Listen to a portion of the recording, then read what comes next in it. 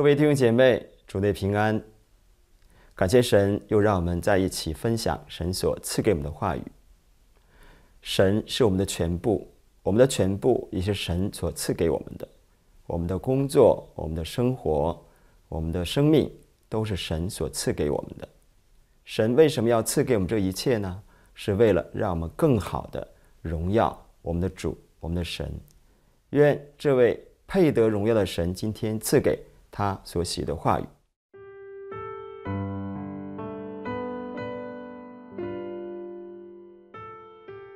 历代志下》九章十三到三十一节。所罗门每年所得的金子共有六百六十六塔连德，另外还有商人所进的金子。并且阿拉伯诸王与蜀国的省长都带金银给所罗门。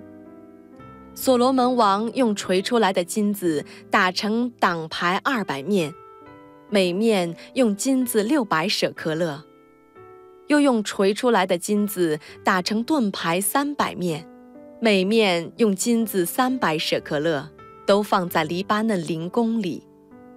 王用象牙制造一个大宝座。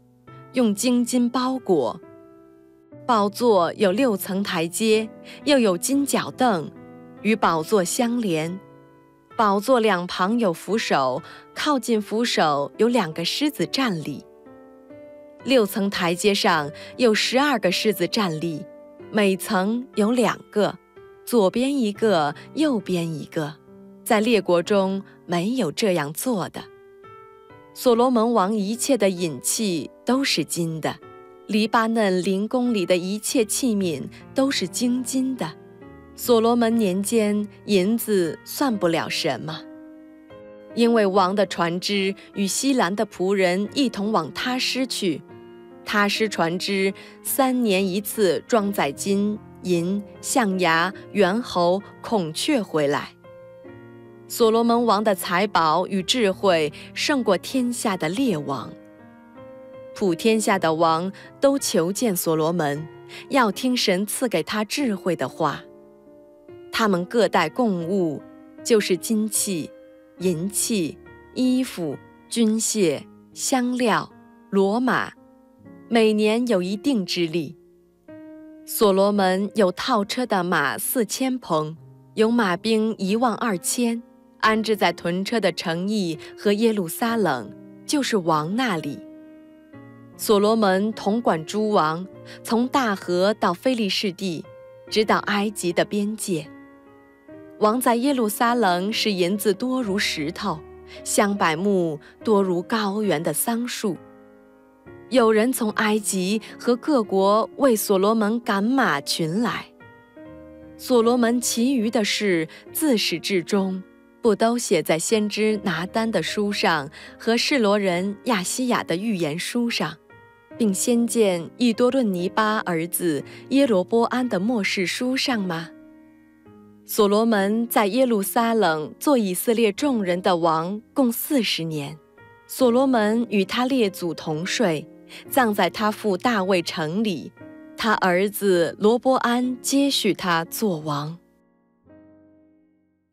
我们刚刚一起阅读的《历代志下》九章十三节到三十一节的经文，叙述了所罗门的财富和所罗门一生的成就。《历代志下》九章二十二节，所罗门王的财宝与智慧胜过天下的列王，可想而知，当时的所罗门所拥有的财富到了怎样一个程度。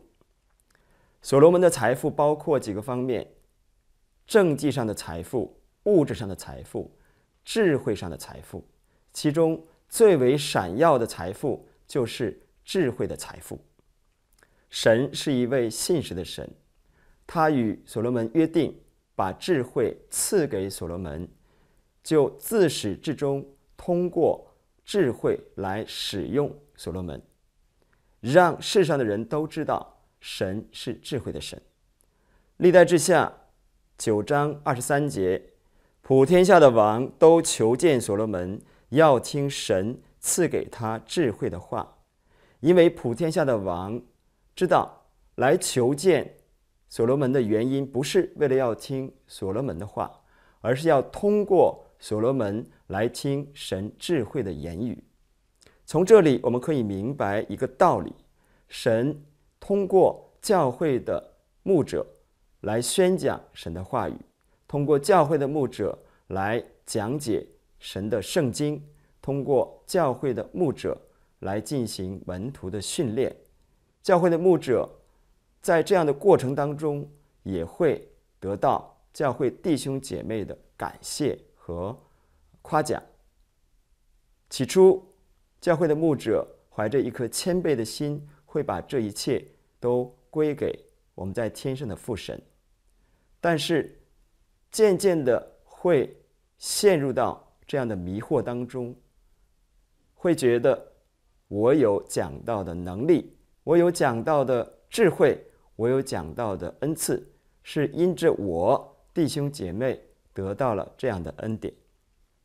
我们要明白，神使用我们，只是要让我们成为一个神的出口，让我们成为神的器皿，让我们成为神福音的一个通路。但是问题在于，慕道友与信徒们听到分享神的话语，得到恩典的时候。不但会献上感恩，也会来感谢啊教会的牧者。这样的时候，我们要为教会的牧者献上祝福的祷告，献上抵挡的祷告，让教会的牧者能够在神面前站立得住，能够放下自己，能够致死老我，活出耶稣的生命。这是作为教会的弟兄和姐妹我们的职责，我们的义务。这是撒旦的计谋，这是魔鬼的诡计。这样的时候，我们要同心合意。我们相信教会的弟兄姐妹，如同所罗门一样，都会遇到这样的攻击。让我们同心合意，在神面前警醒祷告，在神面前站立得住，成为神所喜悦的美好的祝福的通路。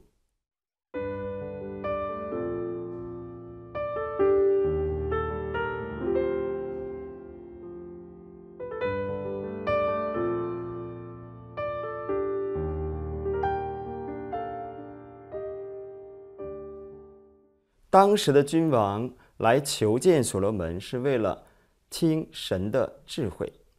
寻求智慧的人有福了，能够找到寻求智慧的方法和道路的人更加有福。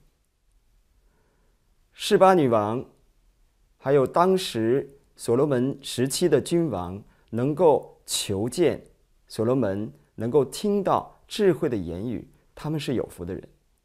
但在现今的世代，因着现今世代的知识迷惑了我们的双眼，迷惑了我们的耳朵，我们不知道什么是真正的智慧，也不知道什么是虚假的智慧，我们失去了分辨的能力。我们已经看不清什么才是神的智慧。所罗门在箴言一章二十节到二十五节大声疾呼。智慧在街市上呼喊，在宽阔处发声，在热闹街头喊叫，在城门口，在城中发出言语说：“你们愚昧人喜爱愚昧，谢曼人喜欢谢曼，愚顽人恨恶知识，要到几时呢？你们当因我的责备回转，我要将我的灵浇灌你们，将我的话指示你们。我呼唤你们，不肯听从。”我伸手无人理会，反轻弃我一切的劝诫，不肯受我的责备。世上的君王来求见所罗门，要听神的智慧。那么所罗门所得到的智慧，到底是什么智慧呢？箴言中提到的智慧，到底指的是什么呢？或许所罗门年代的人不能够明白这智慧到底是什么。但是，作为新约时代的基督徒，我们不得不明白，我们一定要清楚什么是智慧。在哥林多前书一章十八节到二十四节说：“因为十字架的道理，在那灭亡的人为愚拙，在我们得救的人却为神的大能。就如经上所记：我要灭绝智慧人的智慧，废弃聪明人的聪明。智慧人在哪里？文士在哪里？这世上的辨识在哪里？神岂不是叫这世上的智慧变为愚拙吗？世人凭自己的智慧，既不认识神，神就乐意用人所当作愚拙的道理拯救那些信的人。这就是神的智慧了。犹太人是要神迹，希腊人是求智慧，我们却是传钉十字架的基督，在犹太人为绊脚石。在外邦人为愚拙，但在那蒙召的，无论是犹太人、希腊人，基督总为神的能力、神的智慧。真正的智慧是什么？真正的智慧就是耶稣基督。耶稣基督就是智慧。所罗门王向神所求的智慧，神所赐给所罗门的智慧，是所罗门最大的财富。如果抛开了智慧，所罗门一无所有。而这个智慧实际上就是我们所相信的耶稣基督。保罗曾经为了这个真正的智慧，为了耶稣基督，他宁可丢弃万事。为了得着智慧，保罗看世上的一切如同粪土。菲利比书三章八节，不但如此，我也将万事当作有损的。因我已认识我主耶稣基督为至宝，我为他已经丢弃万事，看作粪土，为要得着基督。哈利路亚！这智慧就是我们的主耶稣基督。让我们一起来祷告。天父啊，我们的上帝，你是智慧的源头。我们今天新约时代的每一位基督徒，我们都应该清楚的明白，耶稣基督就是智慧。我们依靠他。我们跟随他，我们得着这智慧的恩典。求您让我们成为智慧的通路，让我们成为智慧的呃源泉，使我们能够把你的智慧传扬到世界各地，使更多的人回到你面前，成为智慧的儿女。我们感谢你。以上的祷告是奉主耶稣基督的名求，阿门。